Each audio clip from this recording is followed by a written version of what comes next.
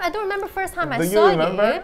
But let me say, let me say this. I do remember. I don't remember the first time, but I remember you always sitting on up front I and was on the looking at me, and I was like, whenever I asked a question, you always try to answer. Even if it was wrong, I remember on time. no, but you got it eventually. Yeah, you can stop swiping now and take a look around. Tell me what, what do you see around you? You know, you're actually someone who's quite technical, who are interested in psychology.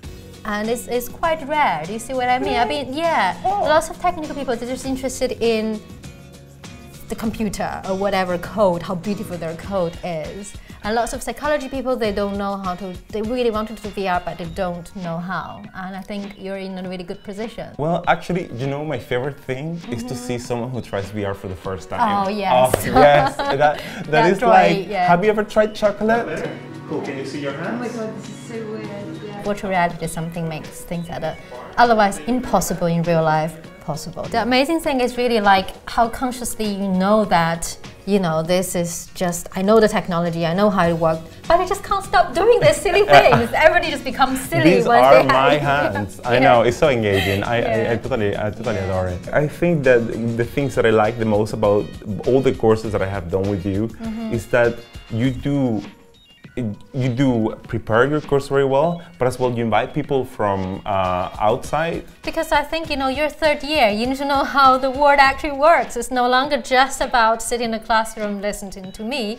You need to understand how this knowledge actually connects to the rest To of the the, world. world. Yeah, and also it's, as, as career opportunity as well. They, you know, it's good for them because they want to also speak to third year students, good third year students who can both do computing and art. Our students are so different from each other. We try to find out what is their passion passion about, uh, what are they interested in, and, uh, and we try to help them develop Yeah. that way. No, sometimes people think that okay, these people are so high up there. No, you're Yeah. not. You're actually all working together. You're not that far from people who have their name credit in you know Hollywood films. You're Yeah. actually really close. You can become one of them. It's just a little step you have to make.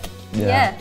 Yeah, so hopefully you'll make that step. Yeah, I hope And, so. uh, yeah, I think you will. When did you first hear about VR? Was it in my lecture? Yeah, no, actually, I when I was little, I went to a shop and I used uh, the Game Boy VR.